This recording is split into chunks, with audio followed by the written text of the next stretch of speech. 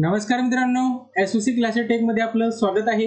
आज आपल्याला बघायचं आहे class ten science lesson number first that is the gravitation आणि हा ग्रॅव्हिटेशनचा पार्ट टू आहे. आणि याच्यामध्ये आपल्याला बघायचं आहे केपलर्स लॉ ठीक आहे? या सगळ्या गोष्टीत आपण समजून घेणार आहे. पण त्यापूर्वी जर तुम्ही आमच्या चॅनलला सबस्क्राईब केलं नसेल तर आता सबस्क्राईब करा. आणि या व्हिडिओला लाईक आणि शेअर करायला विसरू नका. मित्रांनो जर तुम्हाला नोट्स पाहिजे असतील तर आताच या आमच्या टेलिग्राम चॅनलला जॉईन करा. याची लिंक सुद्धा मी व्हिडिओच्या डिस्क्रिप्शनमध्ये दिलेली आहे. आणि जर तुम्हाला फक्त नाईन्थ आणि टेनचे जर व्हिडिओ पाहिजे असतील तर त्यांच्यासाठी मी एक नवीन युट्यूब चॅनल बनवलेला आहे.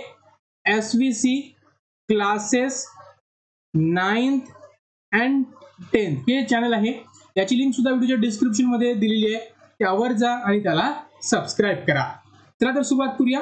पण त्या अगोदर एक महत्वाची बातमी आहे ती म्हणजे India's first social e learning platform Noon academy is here for the Maharashtra board class nine to twelve.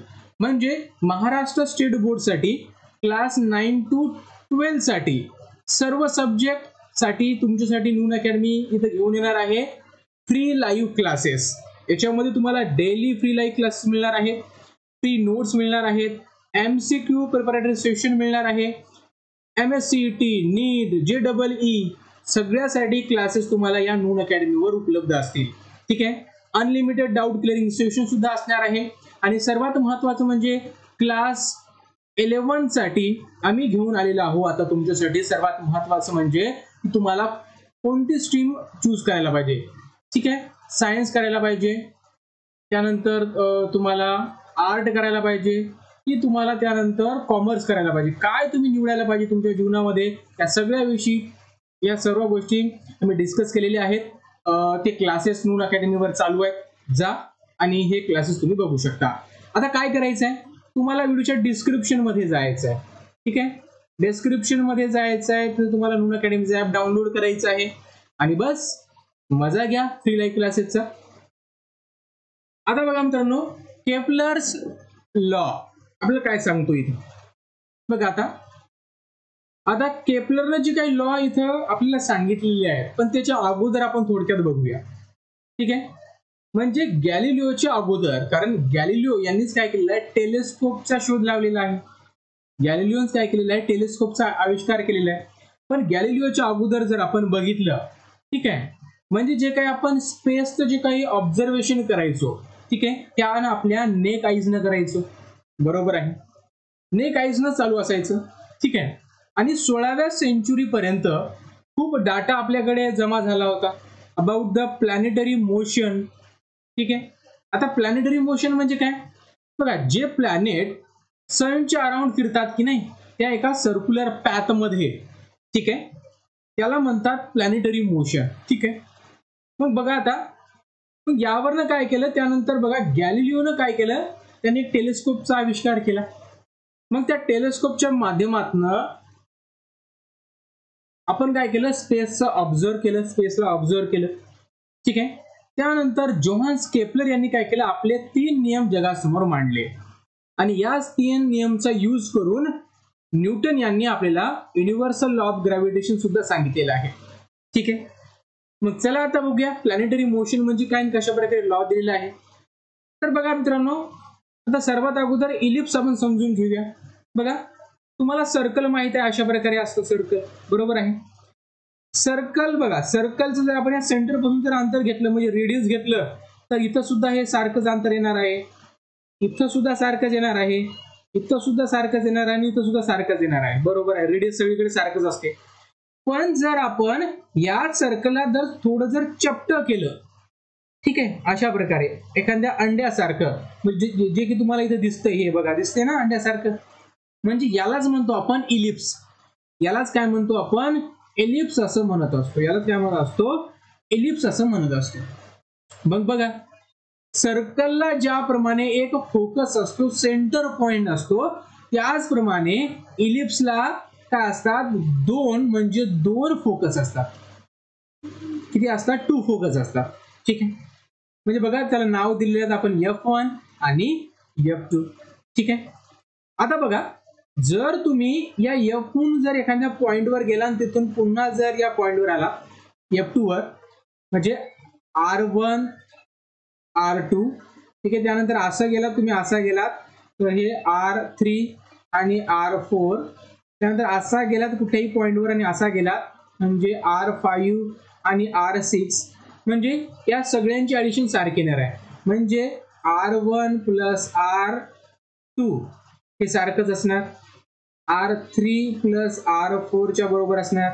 Equal to R five plus R सिक्सच्या बरोबर असणार. म्हणजे हे जे अंतर आहे ना हे आपण करतो हे नेहमी सारखं असणार. ठीक आहे? फक्त एवढंच तुम्हाला इथं ध्यानात ठेवायचं आहे. ठीक आहे? त्यानंतर बघा आता हे आहेत प्लॅनेटरी मोशन याला आपण म्हणतो तुम्हाला दिसतात ठीक आहे? The orbit of the planet moving around the sun म्हणजे इथं तुम्हाला दिसते की जे प्लॅनेट आहेत ते कशा प्रकारे सनच्या अराउंड फिरतात?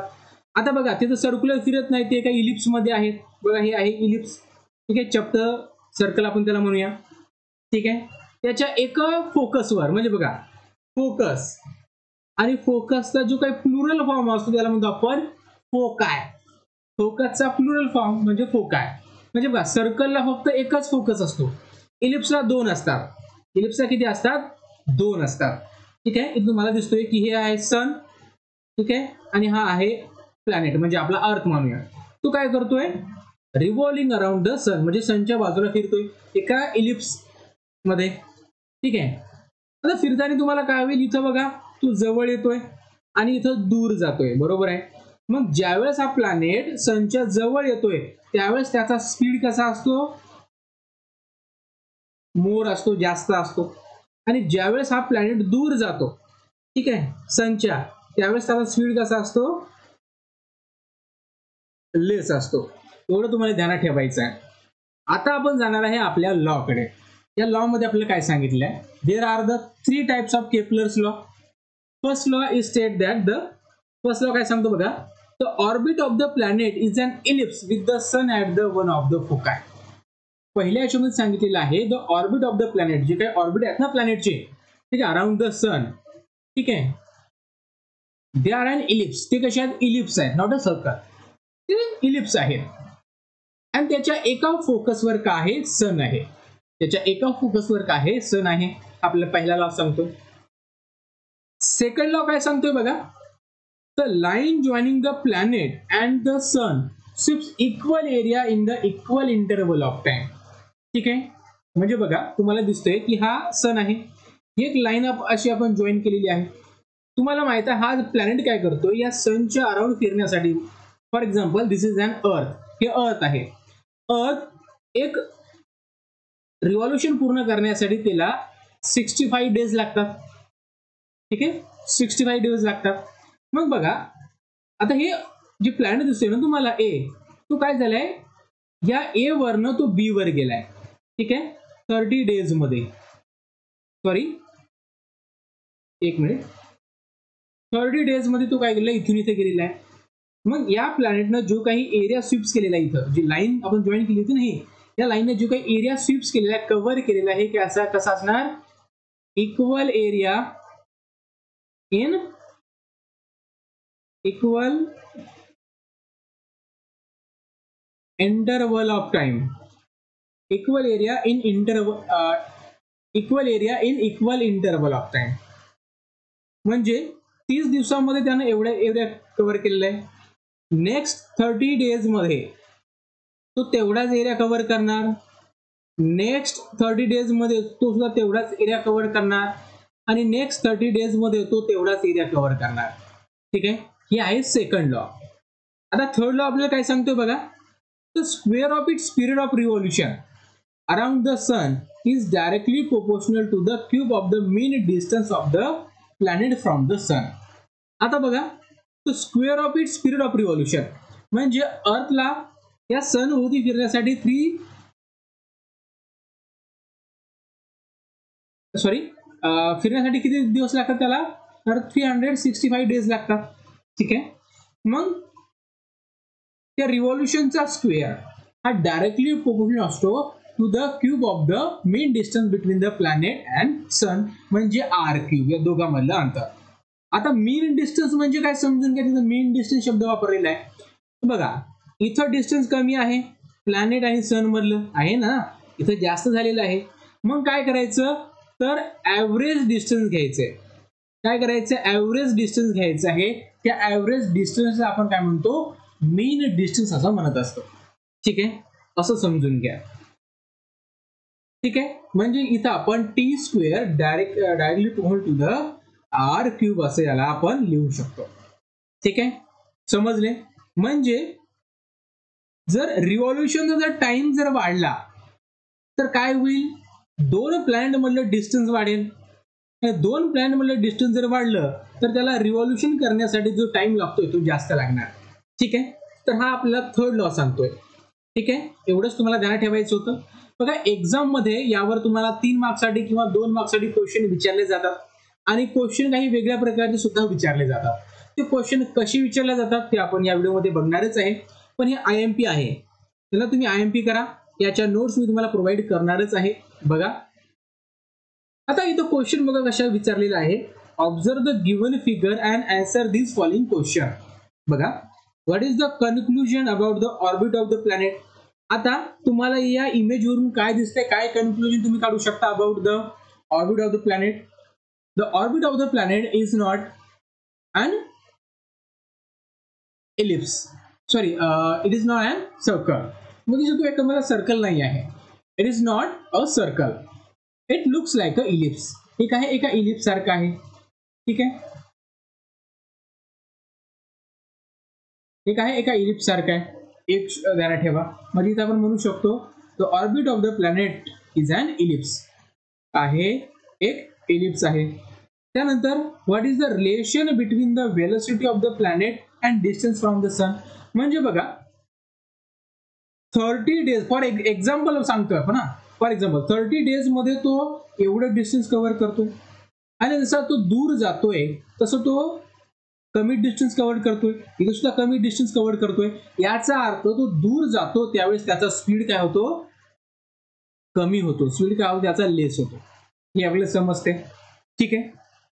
इथं आपण लिहू शकतो when the planet is close to the sun then it speed is more when the planet is away from the sun then its speed is less. तर दोन कन्क्लुजन इथं आपण काढू शकतो. त्यानंतर बघा S B C S D E S F relation between the area explain बघा आता इथं जो काही एरिया आहे एस ए बी म्हणजे इथं जो काही एरिया आहे ठीक आहे? त्यानंतर इथं जो काही एरिया आहे त्यानंतर इथं जो काही एरिया आहे हा इक्वल एरिया आहे. ठीक आहे?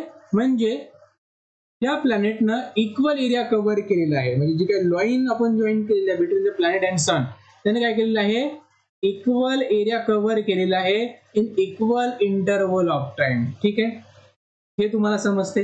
म्हणजे तिन्ही गोष्टीत आपण स्पष्ट केलेल्या आहेत. अशा प्रकारचा क्वेश्चन सुद्धा तुम्हाला विचारला जातो तीन मार्क्ससाठी किंवा एक्सप्लेन द केपलर्स लॉ असं सुद्धा विचारलं जाऊ शकते. त्याच्यामुळे तुम्हाला हे महत्वाचं आहे. हे जे तुम्हाला इथं स्टेटमेंट दिलेले आहेत हे सुद्धा तुम्हाला ध्यानात ठेवावे लागतील. असे असे तुम्हाला लिहावे लागतील. ठीक आहे? महत्वाचं आहे. हे सर्व गोष्टी तुम्हाला लक्षात ठेवणं. तीन मार्क्ससाठी विचारलं जाते. आय एम पी आहे. ठीक आहे? तुम्हाला जर काही प्रश्न असेल शंका असेल तर तुम्ही विचारू शकता. रिमेनिंग पार्ट्स आपण समोरच्या व्हिडिओमध्ये बघणारच आहे. Thanks for watching